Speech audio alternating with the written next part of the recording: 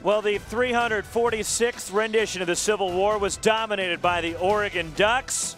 The most played rivalry in college basketball in Oregon upends the team from 40 miles up the road, Oregon State. 91 81, a game they led by as many as 25, and they were terrific at both ends of the floor. What a game for the Ducks from the opening tap. You cannot say the same thing about the Beavers. But Dillon Brooks, Elgin Cook, Chris Boucher, Jordan Bell, Casey Benson, everything, everybody, every way, it was Duck basketball. The ball movement, perfect.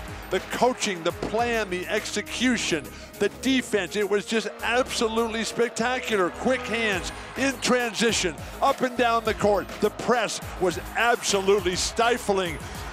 Dwayne Benjamin did it all. And then whenever he didn't do, it was Chris Boucher and Jordan Bell with the double block right there. The defensive rotations.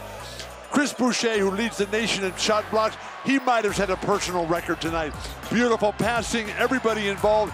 And Tyler Dorsey, we haven't even mentioned him, and he was the leading scorer on the night. Dorsey tied a career high with 25 points. As with the win, Oregon moves into a first place tie in the Pac 12 with the Arizona Wildcats. The Conference of Champions, when the Ducks play like that, they are so good. Problem is, they didn't bring that last week. They only hurt themselves.